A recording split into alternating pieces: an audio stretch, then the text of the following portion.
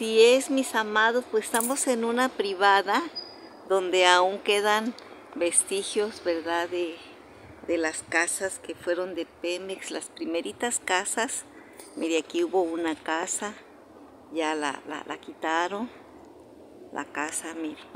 Allá al final están los baños, mire, el lavadero, sí, y mire, esa es la pared de la casa, o sea que lo que dividía era una pared de madera, o sea que usted oía lo que había del otro lado. La reconstruyeron, mire, con, con las conchas que les llaman de, de pino, y mire, pues les quedó bonita su casita, porque sí, ya era una casita que ya se estaba cayendo. Mire qué bonita quedó, sí, mucha limpieza, y bueno, mire, todo se puede hacer cuando hay creatividad.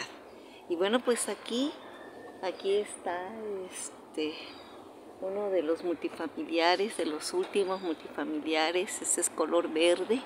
Y todos tenían para enfrente, mire, tenían un grande jardín y para atrás, pero aquí estas personas, los de abajo vendieron su jardín, pero pues pasaron a, a molestar a todos los demás porque la casa la hicieron en alto. Y esta se puede decir prácticamente es, la avenida 10 Norte, pues se puede decir que es la última casa de la colonia obrera. Mire, aquí fue casa de unos amigos muy queridos. Estas eran las casas, mire.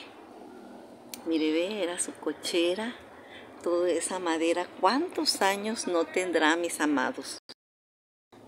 Mire, ya los dueños de esta casa ya fallecieron los Aguilar, incluso tuvieron un hijo, ¿verdad? Que cantaba, le decían el gallo, el gallo Aguilar. Así que mis amados, pues yo creo que es una de las últimas casas totalmente hechas para los petroleros de hace 70 años, mis amados, pero era una madera o fue una madera curada que, bueno, pues la trajeron por barcos, dicen, y con esa hicieron la mayoría de las casas. Mire. Mire, aquí queda otra también, que ya la arreglaron, ¿verdad? Pero todavía es de las últimas.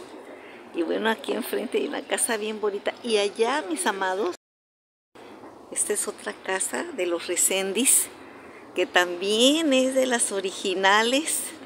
Ya los primeros dueños ya se fueron Ahora son los segundos dueños los que están aquí. Mire la casa como era, Ya prácticamente se puede decir es de las últimas casas.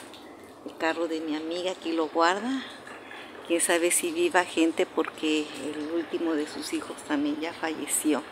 Pero esta es la casa, mire, así eran. Tenían su corredor, su sala, su cocina y atrás el cuarto de servicio. Así es que estas eran las casas, mis amados, de los petroleros. Sí, mire. Y bueno, con esto me despido, mis amados. Todavía quedan vestigios de